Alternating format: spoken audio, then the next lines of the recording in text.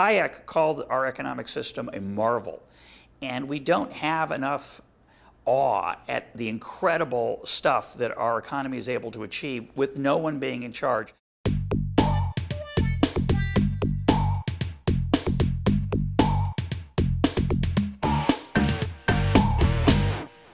Hi, I'm Russ Roberts. I'm professor of economics at George Mason University and a research scholar at Stanford University's Hoover Institution, and I try to write novels about economics. Not particularly well, but. What I try to do in the book is give people an idea of the forces that create order in our lives without deliberate design uh, the virtues of leaving things alone. Not just because freedom is good, which it is, but because of what that freedom produces when we are able to choose our own path, choose our own dreams.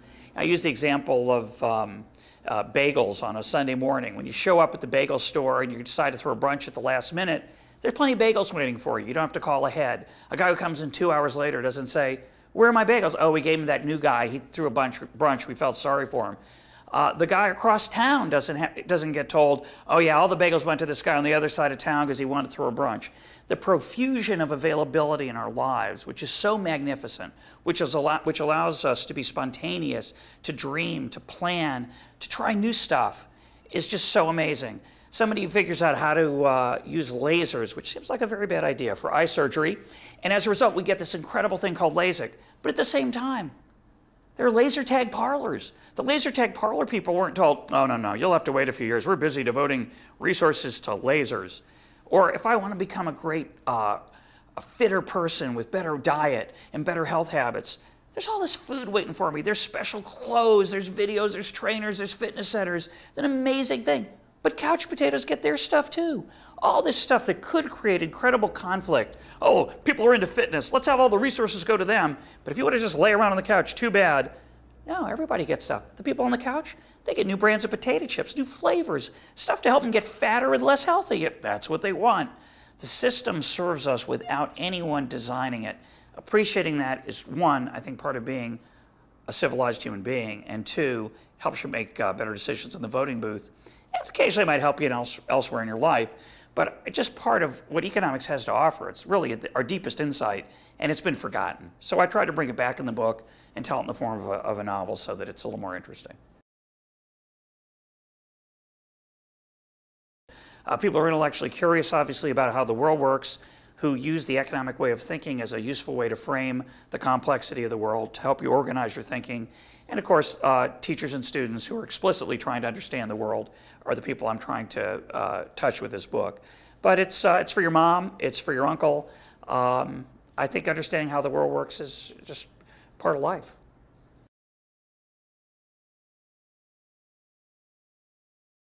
Well, when I write didactic fiction, I'm trying to do two things. I'm trying to deliver an educational message, and I'm trying to do it in a package that's relatively palatable relative to the standard techniques.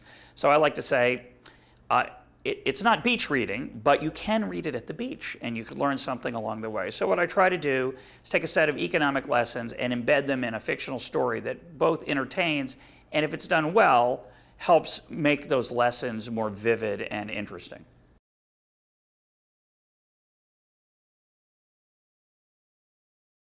When, when you write a book that's called an economic romance, which my second book was, and this recent book, The Price of Everything, is um, has some romantic scenes. Uh, people often complain they're not um, hot enough, spicy enough, racy enough. You choose your generational word. Uh, I always say, well, you can write a sex scene without causing people to giggle. You write that. I can't do that. So I end up writing books that I'm afraid are PG at best. When people say, an economic romance, is there any good parts? I always say, well, I hope the economics are part of the good parts, but don't get, um, don't get too excited. It, it is PG at best. So um, there's romance, which is nice. Uh, there is, uh, but it's modest.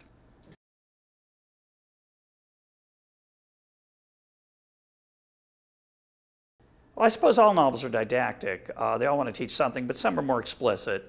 Uh, you know, the most successful didactic novel clearly is uh, Atlas Shrugged, although you could argue it's um, Oliver Twist. I mean, Oliver Twist and the work of Dickens was designed to touch the heart and get people compassionate about the poor and the current state of British, at the time, British poor laws. So uh, there's, authors often have a lot of different agendas. But what was the one that's done the most damage? Um, hmm, beside my own? I'm, I'm not sure.